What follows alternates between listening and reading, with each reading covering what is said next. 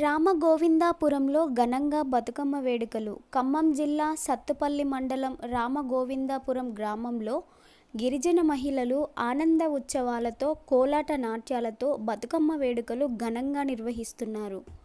ప్రతిరోజు బతుకమ్మను వివిధ రకాల పూలతో అందంగా అలంకరించుకొని గ్రామ కూడలిలో బతుకమ్మను ఏర్పరచుకొని భక్తి శ్రద్ధలతో పూజా కార్యక్రమంలో పాల్గొంటున్నారు.